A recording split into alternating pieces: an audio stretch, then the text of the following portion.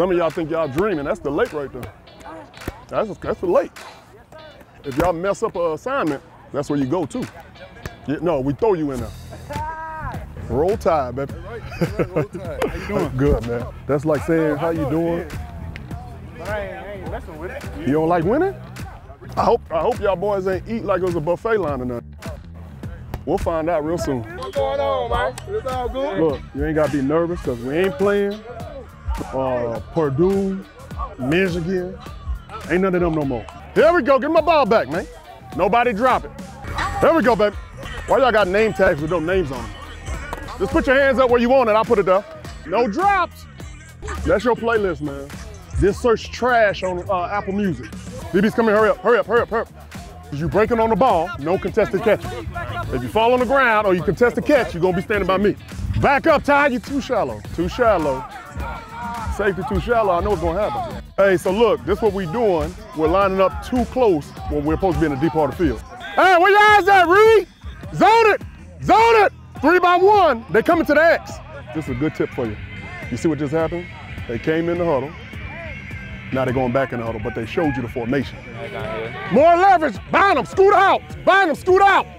How you get blocked with no pads? Any late with the high call, it affects the flat defender, you know? Well, we can't touch the ball. We can't touch the ball. You can intercept the ball, you can't contest a throw. You follow I had a saying? pick over there. Oh, yeah, you had it. Now he got a reception. He got some long receivers.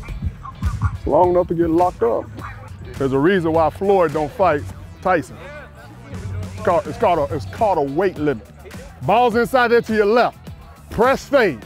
All I want you to do is release for 15 yards. And then you pull off and meet them down there.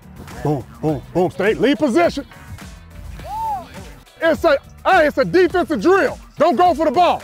Take the drill what we did inside and just apply it here now, right? Lock them elbows out, right? You're just placing it on them. You're not trying to punch them. You punch them. Oh, oh, look at your, what- what's, what's wrong with your arms? Let them hang, let them hang. Let them hang, because all you're gonna do is pick them right up. When you turn your head, we want to be on top. Lead position. If I'm a smash corner, I'm seven yards off, and I'm walking into the receiver.